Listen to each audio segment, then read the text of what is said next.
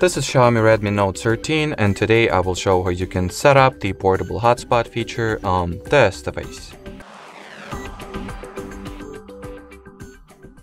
So to start you will need to launch settings, then enter the connection and sharing category. In here go for the portable hotspot and here you have it. That's how you enable it, that's how you disable it.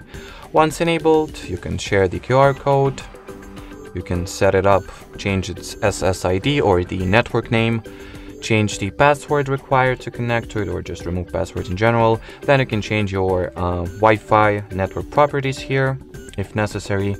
You can set up the one-time data limit.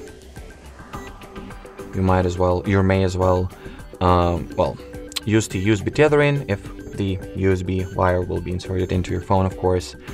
Uh, you can enable or disable the turn off hotspot automatically option, use the Bluetooth tethering or share via the Ethernet option.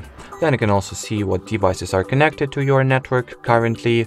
You can set the limit for the amount of devices that can be connected to your Wi-Fi hotspot simultaneously and, well, manage the blacklist. And well, as far as the portable Wi-Fi hotspot goes, that'll be it. So thanks for watching and bye-bye.